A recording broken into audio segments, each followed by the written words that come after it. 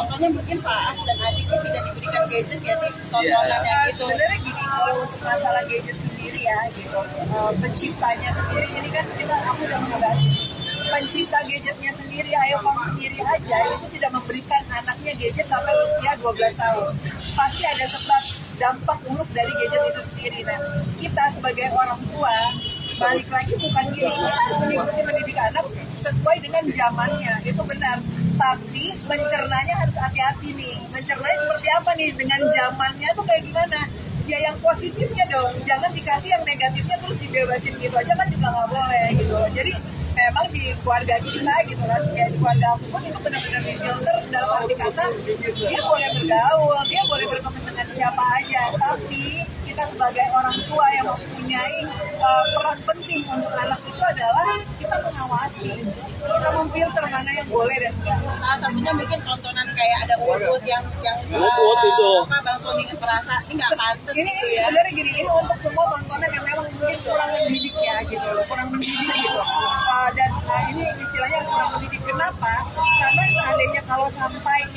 itu menjadi terus berkepanjangan gitu tujuannya kenapa? Memang betul ini sudah bertahun-tahun terjadi. Betul.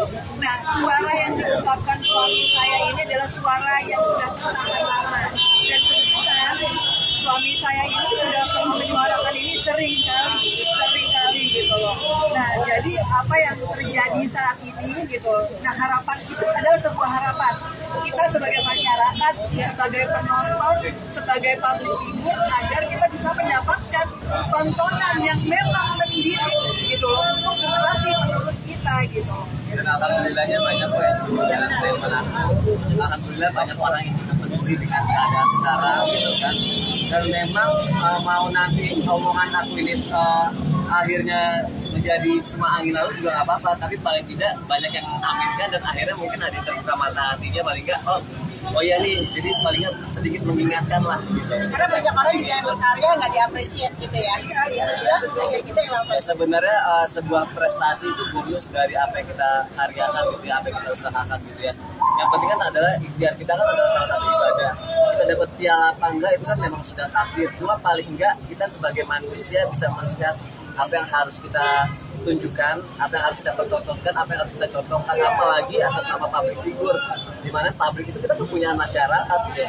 Masyarakat yang mencintai kita pasti otomatis akan mengikuti kita gitu kan. Tapi bagaimana caranya mereka mengikuti kita yang baik-baik gitu. Mulai dari tontonan, mulai apa yang kita tampilkan sebenarnya itu sih dan nggak harus untuk menjadi ustadz dulu atau menjadi ulama dulu untuk menyampaikan sesuatu yang baik gitu. Jadi paling nggak apa yang kita sampaikan siapa pun bisa menyampaikan yang baik-baik. Tujuannya apa? Untuk kebaikan kita semua. Iya, Gak ada keuntungan buat kamu sendiri tuh nggak ada. Iya, karena kan uh, yang harus kita ingat ya, kita harus tahu uh, sebenarnya ini bukan tentang sebuah uh. Oke, jadi jadi Terakhir, gini, terakhir. Le- apa Leonardo DiCaprio aja untuk dia mendapatkan Oscar itu lama loh. Dengan filmnya dia yang dahsyat luar biasa Titanic, Romeo and Juliet itu banyak banget film yang udah dia mainin. ya? Dia mainin pas apa akhirnya dia baru dapat penghargaan setelah dia udah tua. Tapi apa yang bisa kita ambil dari situ memang sebuah prestasi itu gak selalu identik dengan sebuah penghargaan. Tapi dengan contoh seperti itu mungkin dia dengan teman-teman circle-nya melihat contoh yang baik. Wah kalau gue mau dapat Oscar, kalau gue mau dapat sebuah penghargaan yang berprestasi, gue tekun gitu kan bukan dari sesuatu hal yang jelek gitu. Jadi contohnya tuh yang bagus. Jadi gue dia termotivasi, oh suatu saat gue bakal dapet nih kalau gue melakukan hal yang baik, kalau gue berprestasi gitu loh. Jadi termotivasi dia seperti itu. Salah satunya juga lo di Iya ya. pasti karena aku dulu bilang kalau suara lo nggak bagus lo jangan nyanyi gue nggak boleh dan apalagi aku tuh waktu itu belajar vokal dulu beraniin diri dulu dan saat ini aku ditawarin nyanyi aja karena aku udah lama vakum aku bilang gue belajar vokal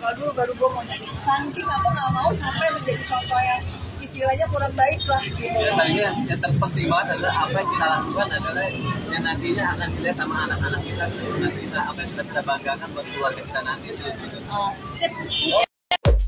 Terima kasih sudah menonton video ini. Jangan lupa subscribe dan aktifkan lonceng notifikasi supaya kamu nggak ketinggalan video terbaru dari Grid.